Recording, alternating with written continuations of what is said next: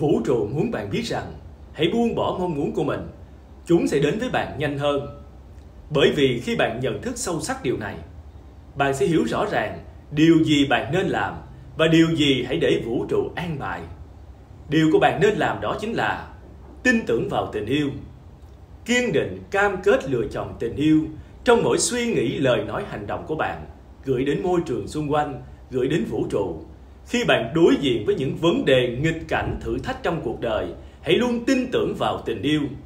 Khi bạn tin tưởng vào tình yêu là bạn đang tin tưởng vào dòng chảy của cuộc sống, vào quy luật phổ quát của vũ trụ. Khi bạn đối diện với những thử thách, bạn không lo lắng sợ hãi bất an, bạn không nghi ngờ về những điều tốt đẹp được an bài dành cho bạn, mà bạn luôn tin tưởng vào vũ trụ tin tưởng vào thời gian thiên liêng vũ trụ sẽ an bài đúng thời gian thần thánh. Điều bạn ước nguyện trở thành sự thật. Điều bạn cần tập trung là nâng cao tần số rung động của mình thông qua cơ thể vật chất, tinh thần, tâm linh của mình, thông qua những gì bạn làm hàng ngày trong cuộc sống của mình. Hãy tin tưởng vào vũ trụ. Mọi thứ tốt đẹp đang trên đường đến với bạn. Quốc anh nguyện cầu vô số phước lành đến với bạn.